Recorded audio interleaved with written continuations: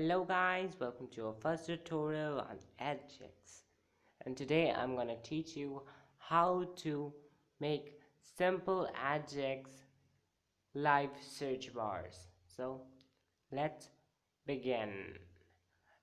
I should remind you that I have already created a database table with some dummy data in it that we are searching right now.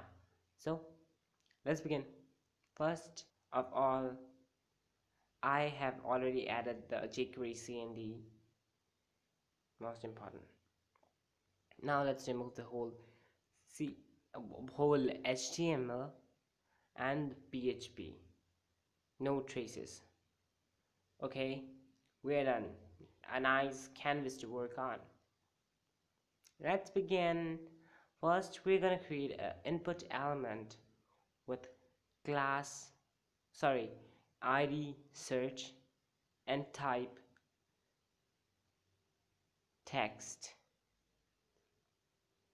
Then after we're gonna create a div element with id results because this div will show each results that we are gonna receive from the server after the AJAX requested now let's start scripting. So script we're gonna do jQuery now. So first we're gonna do is we're gonna bind an event to the input element. That somebody gonna type it and we're gonna trigger a function on that. So search on input a function okay. Now we create a function that's gonna be triggered when somebody types anything into the input. Now what we are gonna do is we gonna get the value from the input. Yes. We're gonna read it later and we're gonna need it in the conditional and in the app in the Ajax too so dollar search is equals to dollar hash search dot val brackets. Okay now we are getting the value. Now if conditional we're gonna say that we need a string of definite length so that we can perform an AJAX request. So if search dot length greater than 0 we need something in the text box. So let's go.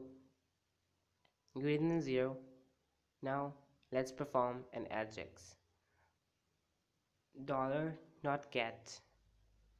Name of the file that we're going to request. That is rest.php over here. Then the data we are going to send to the server we are naming it search.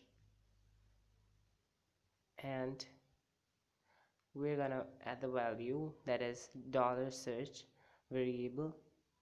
Now function that will perform when we have successfully got the request and the result from the server. So the first parameter of the function will be data. And now let's when we have did all that now we need to put the data into the results div. So dollar results dot html and the data dollar data. Now our scripting is over. Now let's move to the php as you can see it's really simple javascript nothing more. Let's add some text into the into the input element. So now let's check that we are we have written this correct code the correct javascript for it. So print r and get super global.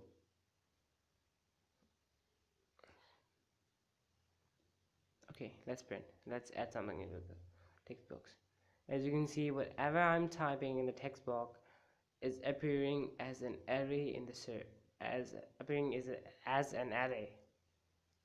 Now let's remove it and write some codes the PHP one.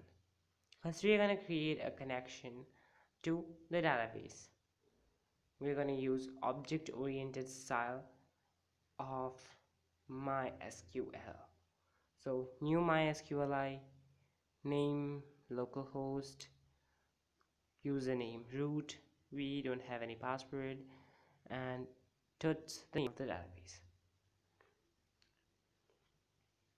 Now let's create a query and query select name name of the column from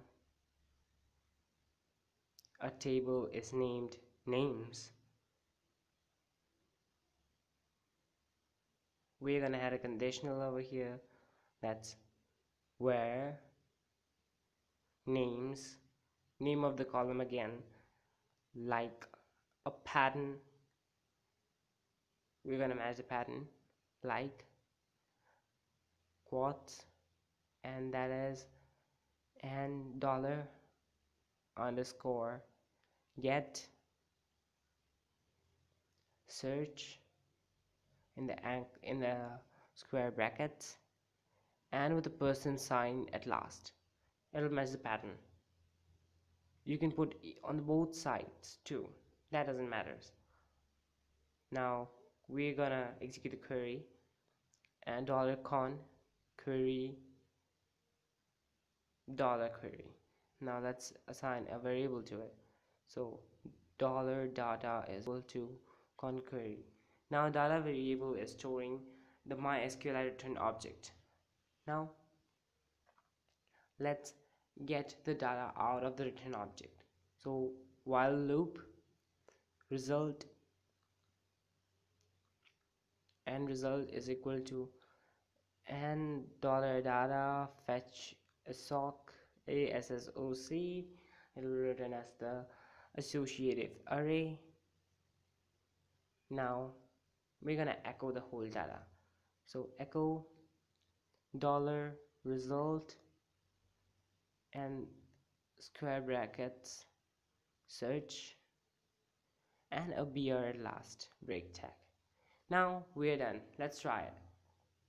As you can see it's working. It's really simple easy nice and interesting. I hope you liked my tutorial more awesome is on the way. We are gonna launch the site soon. And if you haven't subscribed me yet just hit the subscribe button because more awesome things are on the way. Thanks for watching my videos once again. I hope you liked it. Just give it a thumbs up